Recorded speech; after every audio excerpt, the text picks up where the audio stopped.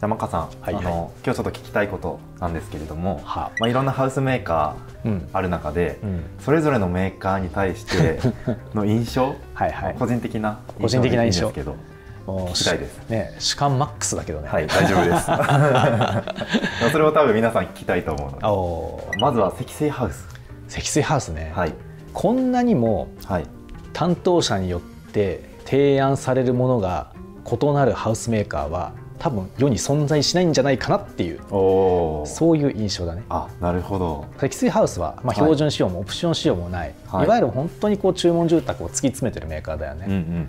で注文住宅っていうのは、まあ、標準仕様もオプション仕様も存在せず何でもありが注文住宅だから、うん。そこを徹底しているっていうところがまずあるのと、はい。企画住宅っていうのも存在しないじゃん、うん。商品として。そうですね。そう。だから本当にこう、まあ、注文住宅を突き詰めてるぞっていうハウスメーカーではあるけれども、うんうんやれることの幅が大きいよね、あー確かに、うん、例えばさ他のハウスメーカーだと決められたメーカー以外の窓を入れられないとかあるわけよ。はい。積水ハウスって言えば他のメーカーの窓入れられちゃうんだよね、うんうんうんまあ、本来は積水ハウスハウスが OEM で発注している窓。はいを、えー、と入れましょうみたいな雰囲気になってるけれども、YKKAP の窓入れたいって言ったら入れられるじゃん。はい。玄関ドアとかもそうだよね、うんうん。YKKAP の玄関ドア入れたいって言ったら入れてくれるじゃん、うん。他のメーカー入れられないからね普通。ああそうなんですね。そう。あとはこう木製サッシとかね。木製サッシとか、はい。あ他のメーカーなんか絶対 NG だよ。あー確かに。だから積水ハウス入れられるじゃん。はい金額高いけど。そうですね。あそれはもうね木製サッシ自体が金額高いからね、ええ。積水ハウスだから金額が高くなるわけじゃないが、うんうんまあ、でも入れられるじゃん、うん。これはねなかなか他のメーカーにはない強みだね。大和ハウスの木造とかはあの入れられたりするんだけど、はい。まあそれ以外のメーカーとかだとやっぱね決められた窓しか入れられないみたいなことはやっぱ多いは多いようね。んそういったところもそうだし、まあ、幅木をなくすみたいな話もそう、まあ、もちろん、ね、積水ハウスも地域によって幅木はあのミニ幅木を絶対使ってくださいっていう地域もあったりするけれども、はい。圧倒的にね幅木なしに施工できるっていうその割合が大きいよね。うん。とか基礎を塗っちゃうとかね。ああ 一緒に吹き付けるとか。そうそうそうそうそう。昔あのねベルバーン割引っていうのがあってね、はい。あのシャーウッドで建てるんだったらベルバーンがいいですよって、まあ、営業マンすごく勧めてたと思うんだけれども、まあ、その一つの要因として本社がちょっとこうお金を出してくれるはい。援助金を出してくれるから、比較的安めにベルバーン入れられるよみたいな体制が整っていったわけよね。はい。ただその補助金みたいのがなくなって今あの吹き付けはい。外壁にするのも、ベルバーンにするのも金額がそんなに変わらなくなってきてるとはい。言った時に、まあ、吹き付けにした方が割と綺麗な外壁作りやすいじゃん、そうですね。壁面強調したさ綺麗な外観とか作りやすいもんね、そうですね。でこの時でだよ。基礎まで塗っちゃうっていうね、はい。ことが吹き付けだったらできるやん、うん。うんとか今まで全国的にいろんなメーカーの建物を見てきたけれど積水だけ唯一軒天に吹き付けやってたね。物件があったね。ありますね。そうそう。あの小叩きってやつはいはいの下に吹き付け塗っちゃうみたいな、え そんなことやってるメーカーはね積水ぐらいしかないよ。え確かに言われてみればそうですないない、うん。そうだからやれる自由度が高い、うん。だけれども提案する人によって本当にできるものが違ってくる。うん。多分ねこの動画を見ている積水の営業マンも何言ってるか分かんないっていう人いると思うよ、あーそうです ね。基礎とかの起点吹き付けられるのってね。いう。人もいると思います。そうそうそうそう。とかね、まあ、壁吹かすとか日常的にやってるじゃん。はい。例えば窓の枠を隠すために壁吹かして、であのすっきり窓を収めるみたいな話だったりとか、天井を低くしてで軒と天井をうまくつなげるようにするとか、うん。これも日常的に普通にやってるじゃん、うん。他のメーカーでできないからね。ああそうそうそうそうだからあのいろんなことはあるけれども、まあ、積水ハウスだからできることが多い、うん。だけれども本当に担当者のリテラシーによって、うん。いわゆるもう戦後から来ているようないわゆる量産品の建物を提案することしかできない人だったりとか。一方で時代にマッチしたような、まあ、いわゆる高気密高断熱住宅で、うん。なおかつデザインの両立も図れてるっていう,、うん。もう最高の提案をしている人もいれば格差やばいよね。あ えげつないと思う。で特にさあの積水ハウス断熱性能気密性能もともとそんなに高くないじゃん。ーはい。だからちゃんと強化をしなきゃいけないんだけれども、うん。この強化のことがあのやっぱり分かってない方の人とかもやっぱ多いよね,、うんうんね。特に断熱等級5取れてればいいとか、うん。6取れてればいいとか、うんまあ、そういうこと言っちゃったりする人も多いんだけれども、うん。そんなことないじゃんってこれ分かる？等級じゃないんだなっていうのは最近になってやっとあよやっと分かった、はい。やっと分かった、はい。もう遅いよ。すいません。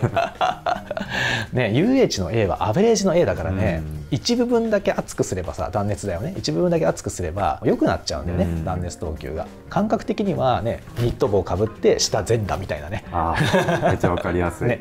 それだとさいくらさ頭あったかくしててもさ下寒いじゃん。そうですね。建物も同じで、うん。その天井のところって結構隙間が空いてるから、はい。結構多めに断熱材入れられちゃうんだよね。はい。だから壁と床下の断熱材が薄くても、うん。そこがカバーしてくれてるから、そこが平均値を引っ張ってくれてるから、うん。まあ、トータルで見た時に断熱等級が良くなっちゃうとかね、うんうんであとは開口部の比率。外壁の面積に対して開口部がどれだけ大きいのか小さいのかによってその断熱等級って良くなったり悪くなったりするわけなんだけれども、はい。断熱材がスッカスカでも、はい。建物が大きかったら、うん。外壁面に対して開口部の割合がちっちゃくなるじゃん。うんうんうんうん。だから断熱材そんなに入れなくても断熱等級良くなっちゃうんだよね。ああそう。特に最近あのコンパクトな住宅でも窓を絞るみたいなのもうん。よくありますしね、そうそうそうそう。コンパクトな家はさその点の話は結構ネットとかに転がってるから、はい。断熱等級良くするためには窓絞ろうみたいなうん話とかもね、あのちらほら見てる人とかもいるとは思うんだけど逆もあるんだよね、うん建物でかく取れば、うん。あ の面積が 壁の面積が増えるから断熱等級良くなるみたいな。相対的に そうそうそうそうそう。そうで積水とかね結構やっぱあのお金持ってる人がね大きな家建てるみたいなケースも結構あるじゃん、そうですね。そう。あ意外と積水ハウスの標準仕様っていいじゃんとかって思っちゃうんだけど、うん。まあ、そこが落とし穴だよでそこが分かってる人はちゃんと提案するし分かってない人はどういや十分ですよ。標準仕様でいいですよみたいな、うなんなら樹脂サッシなんか入れなくていいんじゃないですかみたいな。いやいやいやいやだよね樹脂サッシ入れないとよくないんじゃないのっていう、まあ、話にもつながってきたりとかね、うん。だから本当提案する人によって、えー、とものが全然異なってくるっていうのが積水ハウスの印象かな。なるほど。はい、住友林業のイメージを教えていただきたいです。住友林業のイメージはい。は、えーっといい意味ではい。本社がちゃんとパッケージ化しているっていう感じかな。はい。例えば今ね積水ハウスのシャウトっていう、まあ、話が出たけれども、はい。まあ、積水ハウスってさっきも言ったように、まあ、標準仕様オプション仕様存在しないよね。はい。だから01を積み上げていくっていう会社だけれども、住友林業の場合は標準仕様とオプション仕様っていうのがちゃんと決まってるんだよね。うん。これによってどういうことが起きてるかって言ったらどんな担当が営業マンであったとしてもある一定の住友林業らしさっていうのを担保できるっていう点があるわけなるほど。でしょ？だってこれが標準仕様ですって言って営業マンポンとそれで見積もりを出すこと出すことができるわけよ、だから変な仕様になってないから住友林業本社がちゃんとしあの定めた仕様になってるから、はい。新卒の人がね提案したとて、うん。一応それはし住友林業本社が決めてる仕様っていう話になるから、うんうん。変なあのデザインにならないんだよ。ああなるほど、うん。そう。でしかも標準仕様が決まってるっていうことは、見積もりを出すスピードが速くて、うん。お客さんに見積もりが出しやすいっていうことでもあるわけね、積水見積もり出すのむちゃくちゃ遅いじゃん。2週間ぐらいかかるイメージですね早くても。そうそうそうそう。でもそういう標準仕様とかオプション仕様っていうのが明確にその定めてる会社っていうのは、うん。やっぱりあの見積もり取るときにこれが初期仕様だからこれが標準仕様だからっていうことで見積もり取りやすいわけよね。うんうんうん。だからお客さんからしてみたらあの見積もり待ってるあの時間っていうのが短縮することができるから、まあ、そういう意味ではストレスかからないし、うん。まあ、さっきも言ったように本社がある程度仕様を決めちゃってるからあのどんな担当の営業マンであってもある一定の住友人形らしさっていうのは担保できてるっていう、うん。まあ、ここが大きな特徴だよね。うんうんただ一方でデメリットもあって、はい。やっぱその本社がこう決めてる枠組みをちゃんと決めてるってことはそこから逸脱するのが難しいという話でもあるわけよ、おー。あ要はマニュアル化してるから、い。そのマニュアルを飛び越えるのは難しいって話ね。難しいっていうのはそれを扱う営業マン的な難しさっていうことですいやルールの問題。あ例えばあの住友林業ってあの窓はいを一社に統一しなきゃいけないというルールがあるわけよ。はい。例えばあの自分がねよく動画で言ってるのがあのメインの開口はアルミ樹脂複合サッシでもいいんじゃないですかっていう話をしてるわけ、はいうん。でそれ以外の、えっと居室とかに関しては樹脂サッシの方がいいんじゃないかみたいな話をしてるわけね。はい。で当然その見た目みたいなところを気にする人も多いからあそのリビングに関してはアルミ樹脂複合サッシで枠を補足してであの外の景色を室内に取り入れられるような、うん。まあ、そんな作り方にした方がいいんじゃないかなっていうところから、はい。あの南面はアルミ樹脂複合サッシでもいいんじゃないかなと。ただ一方で居室とかに関してはそんなにこう景色をがっつりね、うん。あの眺めるっていうわけでもないし、うん。どちらかというと明かり取りで入れてることの方が多いから、うん。であれば快適性を重視するために樹脂サッシを入れた方がいいんじゃないかと。うん。要はだから、えーとアルミ樹脂複合サッシと樹脂サッシの混合配置みたいなのを個人的にはまあ、やった方がいいのかななんて思ってよく動画で言ってたりするんだけれど住友人形はそれできないのね。ああなるほど。でなんでかって言ったらさっきも言ったように住友人形っていうのは、えー、と窓のメーカーを一社に統一しなきゃいけないっていうルールがあるから。ああだから具体的に言うと YKKAP っていう会社は樹脂冊子はい。しか入れられない。うーん。で、えっと、リクシルと三共アルミっていう、はい。この会社からは、えっと、アルミ樹脂複合冊子の窓しか入れられないっていうルールがある。もうメーカーを一社にすあのすることできないじゃんそれだと。ーうん、うんうんだから混合配置ができないんだよ。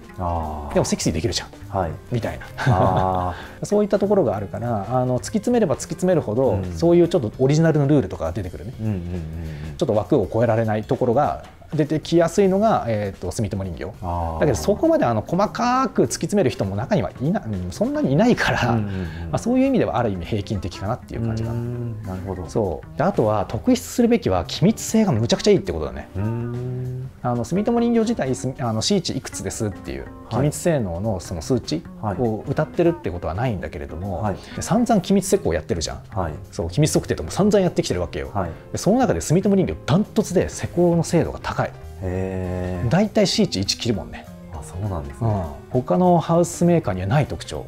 もう超誇っていいと思う。安心して任せられるもんね。ああそのイメージはちょっとなかったですね。ないでしょ、は住友人形もね本当こう石橋わ叩いて渡るようなハウスメーカーさんでいはい。本当慎重なんだけれども、はい。その慎重さゆえに機密もねちゃんと仕組み化してるんだよ。あんまり言っちゃうとねよくないと思うんだけれどしっかりしてる、へえうん、だから他のハウスメーカーに比べて圧倒的に機密性能は高い、うーん。これはね誇っていいとこだね。あとは価格もバランスが良いね、割と他のメーカーって去年1年間ぐらいで800万ぐらい金額上がってるようなイメージなんだけれど、うんうん住友人形ってそこまで上がってるようなイメージはないかな、まあおそらくだけど、まあ、自社で山持ってたりとかするじゃん、で製造と販売が一体できるから、まあ、その分コストが抑えやすいのかなっていうふうに思ってたですね。製造と販売が一体っていうのは結構それもメリットがあって、はい。自社のウッドデッキと、はい。あと自社で作ってるフローリングはい。幅一緒なんだよね。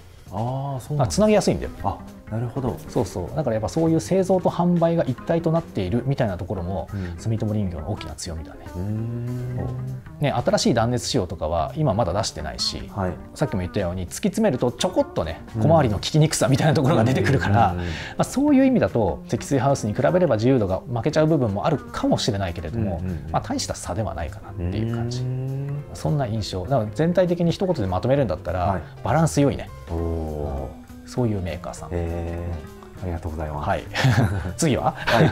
じゃあ次大和ハウス。の印象大和ハウスね。大和ハウスはね、はい。構造躯体素晴らしいよ。おお鉄骨木造どっちの話ですか？あ両方だね。おお多くの鉄骨メーカーが、はい。もう今断熱性能とか気密性能をあの追求することを諦めちゃってるよね。うん。鉄骨住宅でやる以上断熱性能気密性能っていうのはあの、まあ、無理があるというか、うん。まあ、追求するのに無理があるっていう判断だと思うのね。はい具体的にねあの例えばヘーベルハウスなんかもアスハウスっていう木造住宅出しちゃったりとか、はい。あと大和ハウス自体も2027年かなはい。までに、えっと木造住宅の割合を7割にするっていうふうに社長が言ってたりとかするぐらい。はい。だから、まあ、時代の流れとしてやっぱり木造住宅の方が断熱性能気密性能取りやすいし、はい。環境負荷のことだったりとかもうここ最近も暑いじゃん。そうですね。そうだそういうのに対応するためにはやっぱり鉄骨よりも木造だよねっていうふうになってきているうん。わけよね。だからあの多くの鉄骨のメーカーがそこら辺の強化は諦めてしまって、うん。どちらかというとあの企画住宅とかちょっとコスト販売に振ってきてるようなイメージがあるんだよね。あうん。だけど一方でその鉄骨住宅でもちゃんと断熱気密を取ってであの家づくりを販売していこうっていうメーカーさんもあって、ーまあ、大和とか、まあ、他の鉄骨系メーカーいくつかもそうなんだけれどもまだその頑張りっていう努力が見え隠れしてるかなっていう印象。うーん。ね、鉄骨住宅で負荷断熱なんてやってるのって多分大和ハウスだけなんじゃない、とかね。なるほど。まあ、気密施工とかも意外とできるからね。あそうなんですね。そう。あとはこう木造住宅。はい。あのグランウッドの方だけれど、え大手のハウスメーカーで断熱等級7ちゃんと取れるからね。うんもうちゃんとっていうのは結構ポイントで、うん。あのさっきも言ったように断熱等級ってこう UH ってもので、はい。あの押し量るじゃん。はい。だからあので UH の A はアベレージの A だから、はい。一部分だけ断熱材分厚くすれば数値良くなるんだよね。はい。だけど大和ハウスの、えー、と断熱等級7のウルトラダブル断熱っていう仕様、全部ちゃんと熱いからね、そう他のメーカーって一部分だけ熱いんだよ。ああそうそれで断熱等級7とあの取れる仕様出してますとかってなってるんだけれど、はい。大和違うんだよね。ああの普通にその大きな開口とかも取ったり設計してもそれができちゃう、そう。おーすごい、いやこれすごいんだよ、ん、であの積水ハウスとかと同様に意外とね現場で対応できることが多くて、うんうん。あの外部のサッシ入れるのもでき,、ま、できるし、そう。結構幅広いんだよねカスタマイズの そうだからあの構造躯体のスペックは割と高い、うん。ただね残念なことに、はい。はい現場の営業マンがね知識ない人が多い。あそうなんですか。使い切れてない。食材は高級食材なのに、まあ、料理してる人がうんなんかバイトみたいな感じ、それはもったいないいやです、ね、超もったいないよ。うん。だってあの、ね、自分が監修したさ大和ハウスのグランウッドの平屋、はい。動画見た？見ました。そう。あれだってさほぼ積水ハウスでしょいや最初積水ハウスかと思いました。でしょ？はい。いやあれだけクオリティ高くできるんよ。うん。すごいねあのポテンシャル持ってるの。うんうんでなおかつ断熱に関しては積水ハウスの使用以上だからね。うん。追求していくと結構大和ハウスの木造特に大和の木造の方だよね。はい。はあのかなりスペックが高い。うん超あの大きな大スパンとかも飛ばせるからね。ああそれ積水以上だよへ個人的にはおすすめなんだがちょっとねやっぱもったいないのが、うん。そこの提案力だね。えああなるほど。で価格がねその大和の木造のグランウッドと積水のあの商品って価格帯ちょっと同じぐらいなのよ、あシャウトと一緒ぐらい。一緒ぐらい。だから壺145万とかうん。150ぐらいなんだよ、うん。だから同じぐらいなんだよね価格が。う、んうんで、まあ、性能はちゃんと突き詰めれば大和の方がいいんだけれども、はい。でも見た目がちょっとねっていうことが多いから、うん。結局あの、まあ、性能もそれなりに突き詰められてでデザインがすごくいい積水ハウスになる人が多いみたいなイメージ。なるほど。そうだからもったいないあ個人的にはねもっとね活躍できるんじゃないかなっていうふうに思ってて、うんうん応援したい気持ちがすごくある、おうん。おだけど本当もったいないなっていう感じ。なるほど。でも検討するのはありだと思うね。結構おすすめっていうことですまあおすすめはおすすめだね、うん。うん。だって断熱等級ちゃんと7取れて、うんうん。全部平均的に断熱材が分厚いメーカーって他ないからね、うんうんうんまあ大和の木造のグランウッドは個人的には非常にいい作りになってるなっていう、まあ、なるほど。構造躯体だけの話だけどね、うん。っていう印象。ありがとうございます、はいじゃあ次はえっとヘーベルハウスヘーベルハウス、はい。ヘーベルハウスはもう最近なんかこう企画住宅にちょっと寄ってきてるなっていう印象だね。都心部にこう注力して販売しているハウスメーカーなんだけども、はい。ヘーベルハウスの売りっていうのは周辺災害から身を守れる頑丈さ、うん。ここが結構売りになっているメーカーさんだからちょっと田舎の開けた地方の塔で家を建てるよりかはうん。東京都心部とか駅地下のところとかで家を建ててでなんかこう地震があったりとかあの災害があった時に、まあ、自分の家がシェルターのシェルター代わりになるような、まうん。あ、そんなこう家を建てられる場所に建てることこそがヘーベルハウスの強みとしていたりするわけはいだけれども、まあ、ここ最近やっぱりねあの住宅需要が減っているっていうところもあったりとか、価格がすごく上がってるみたいなところからあのなんだかんだ企画住宅の方に力を入れてるようなイメージだし、うーん。うん多くの方が企画住宅の、えーヘーベルハウスを検討しているようなそんなイメージだね。へえんかイメージ的にそのやっぱりヘーベルさんって狭小地とか、うん。その都心部とか絶対そうなるじゃないですか、そこで企画住宅ってなんかこううまく噛み合うのかなって気がしちゃうんですけど数百っていうプランの中から選べるようにしてたりとかするっぽいしね。ああなるほど、うん。あとはまあ完璧な企画住宅じゃなくてもい。準企画みたいな形で空の間ってある。わかる、うんうんわかります。はい、展示場とかでよくあるような、うん。あの間取りなんだけれども、はい。あれもやっぱりある程度パッケージ化されてるんだよね実はね。あだから空の間をこう気に入らせてそのまま建てるみたいな。結構あったりするんだけれども狭小地でもポンと建てられるようなある程度パッケージ化されてるプランがあったりとかはするはする、あうーん。あとはねヘーベルハウスですごいなと思った事例が一つだけあって、はい。骨組みだけ売るっていう。これはねすごいなと思ったね。えー、それは他の工務店さんとかに使ってもらうっていうことですか？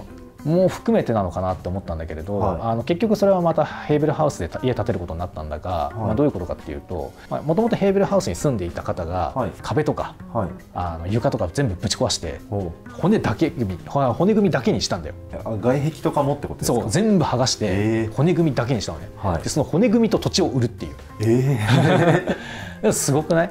それであの買いたいっていう人がいて、はい。でまあ、結局ヘーベルハウスで建てることにはなったんだけれども、はい。ね、お客さんは骨組み代浮くわけじゃん。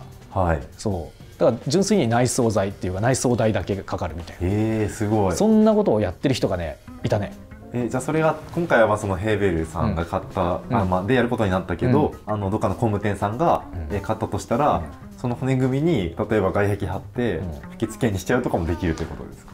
できんのかな？いやさすがにそこまでちょっと分かんなかったけどでも基本的にねあのヘーベルハウスで販売をかけてたと思ったから、はい、多分ヘーベルハウスで建てることになるんだろうけれども、そういう案件がね1個あったね。へえすごいですね。それすごくない？すごいそうだから鉄骨住宅の新たななんか売り方になったなっていうのがそこで一つちょっと見えて。ああでもなんかそれ本当に形になったら、なんかストック住宅が増えてる今のご時世、ね、めちゃくちゃいいですよね。もうよくない、うん、そう。ね鉄骨住宅断熱気密悪いみたいな話あるけれども、はい、まあ、とはいえねリセールになるっていうことを考えたら結構いいよね。うん、いや資産価値としてはものすごくいいんじゃないですか。ねっていうそういう印象だね。だからなんかちょっと事例としては少ないはずなんだけれども、はい、まあ、でもなんかそんな新しいことをやり始めて、うん、でまあやり始めたのかたまたまそこの担当者がやっただけなのかちょっとわからないけれど可能性もあります、ね、そうそうそうそう。でももともとねあのヘーベルハウスの企画住宅自体が売りやすいようにするために作られてるものでもあったりするから、はい、まあ、そういう意味ではなんかヘーベルハウスが目指しているビジョンっていうのはそっち方向なのかなとか思ったりもするけどね。なるほど。なんかそういう意味ではい、ヘーベルハウスはなんかちょっとこう新しいステージに立ってるというか他のメーカーがやってないと、独自路線に入ってるなっていう、まあ、勝手な印象。なるほど、はい、ありがとうございます、はい。はい、じゃ続いて、えっとえー、パナソニックホームズのイメージを教えてください。パナソニックか、はい、いやいいメーカーだよね。おいいメーカーだよね。なんか真面目って感じ。あそうなんですね。あこれ面白くてさ、はい、パナソニックホームズの営業マンと、はい、積水ハウスの営業マンって雰囲気似てるんだよそう。住友林業と,、はい。えーと、ヘーベルハウスの営業マン雰囲気似てるのね。へミサーホームとダイワハウスの営業マン雰囲気似てるのそうなんですか。そうあのそういう特徴があって、はい、なんかどちらかというとねこうパナソニックホームズの営業マンはあの昔ながらの不動産営業っていう感じではなくて、うんうん、まあ、おっとり雰囲気柔らかみたいな人たちが多いかな。でやっぱりこう鉄骨住宅で家を建てることに誇りを持ってるから、はい、パナソニックもねちょっと動き自体は遅いは遅いんだけれども、はい、一生懸命パナソニックなりにあの着実に時代に合わせて進化してきてるっていう、うん、そんなイメージだね。だからあの例えばだけど東京で家を建てると東京ゼロエミっていう補助金があって、はい、まあ、最大210万円とかもらえたりするわけよ。この東京ゼロエミちんと取れるのは今パナソニックだけじゃないかな。えそうなんですか？そう。だから東京でパナソニック一強だったりするよ。えそれは他のメーカーだと、なんか条件を満たさなくて満たさない。満額もらえないってことですか？えそれは例えばどんな条件があるんですか？いやあのシンプルにその断熱等級に関する、はい、あの条件なんだけれども、はい、満たせないことが多いんだよ。へそう。あんまり言っちゃうとね他のメーカーさんがそう、ね,、そうそうそうってなっちゃうからちょっと濁すけど、はい、そう。なんかパナソニック圧倒的有利だね。だから例えばだけどあの他のメーカーだとエネファーム入れないと、はい、その、えーと、基準が満たせなかったりするの。だけどエネファームってさ入れたことある？あります。あれどう？正直うんまあ田舎でやってた時は、うんうん、やっぱりほとんど入れることがなかったんですよね、うんうんうん、もうほとんどエコキュートで、うんうん、オール電化だったんですけど、うん、都心部だとやっぱりこう都市ガスを使いたいっていうニーズがあるので、提案してたんですが、うん、ガスを買い続けないといけないっていうのは、うんうん、まあ、今後先々見通すとうんどうなのかなって気持ちも正直ありますね。ねエネファンむっちゃお金食うんだよね、はい、だから個人的にはおすすめしていない設備だし、はい、やるんだったらあのエコワンとか、あとオール電化にするのであればお日様エコキュートとか、うんうん、まあ、どちらかを入れた方がいいかなって自分は思ってるのね、はい、まあ、そういう話をするよくするからあの東京でも家建てる時に、はい、ガス入れるんだったらエコワン入れましょうっていう話をするんだけど、はい、パナソニックホームズはエコワン入れても、あの東京ゼロミの補助金マックス取れるんだよ。他のメーカー N ファーム入れないと取れない。あそうなんですそう。だからそこで光熱費の差が圧倒的に出てくるみたいなのもある特にそれが賃貸併用とかになってくると、なおのことパナソニックが強いね。だから東京の市場は正直パナソニックがかなり強い。意外ですね。意外でしょ、うん、補助金210万ってでかいじゃん。基準がちゃんと満たせてるかどうかみたいなのも、やっぱりお客さんの印象としてまあねいいじゃん。さちゃんと満たせてるってなって補助金ももらえてみたいな、でも他のメーカー満たせないみたいな、はい、そう。っていう意味で結構パナソニックを選ぶ人は多いかな。へだから結構真面目なメーカーさんだなっていう印象なのとあとはその辺の強みがあるからあのなんかだんだんだんだんこの地方の方というよりかは都心部にやっぱりあのパナソニックも来ている寄ってる来て気がしている。であの賃貸併用とかあのこういう上に積むビューノとかっていうけど、はいはい、あの商品があるけれども、まあ、そういったのに力を入れてるような印象だね。でも総じていいメーカーさんだと思うけどね。施工精度高いし。あそうなんです、ね、ちゃんとやるとねあの鉄骨住宅なんだけど機密あのシーチ1切るからね。あそうなんですか、うん、1回やったんだけどシーチ0.8だったね。えー、鉄骨で。鉄骨で。あすごいですね。すごくない？すごいですね、うん、でそんなに余計な強化してないんだよ。マニュアルがやっぱ整っているってことなんですか、ね、そうだね。でもマニュアルだけじゃちょっとダメだったんだけど ちょっとプラスアルファやんなきゃいけないことがあったんだけど、はい、でもそんなにあのカスタマイズはしてないね。でも0.8は取れたりとかするから。あと現場のクレームがない。他のメーカーだとやっぱ紹介出したりとかしてま、はい、で稀にやっぱあのクレームみたいなのが来たりするんだよね、はい、現場の施工ミスがちょっとこういうのがありましたみたいな話、はい、あのが来たりとかするんだけどパナソニック一切ないからね、うん、そういう意味でもあ非常に綺麗なメーカーさんというか、うん、あの施工精度の高くて、はい。まあ、本当にパナソニックブランドだなっていうメーカーさん。ただねデザインはね、はい、ちょっといまいちだね失敗もしないし成功もしないというか、はい、ものすごくうわすごいっていうあの感動超おしゃれだなみたいな感動はちょっとパナソニックホームズだとないことが多い。あそれは、えっと、商品的なことなのか、うん、それとも提案力的なことなのか。提案力だね。あ提案力なんですね、だから失敗もない、うん、だから本当にこう、まあ、無難な内装提案が多いね。無難な内装提案無難な無難な間取り提案が多いね。そこはちょっとやっぱ唯一ネックかなっていう感じ。なるほど、うんそこのそんな感じかな、うん、印象としては。なるほど、ありがとうございます。はい一旦ここで終わりにしようか。はい。はい。次は後半ということで。はい。はい。ありがとうございました。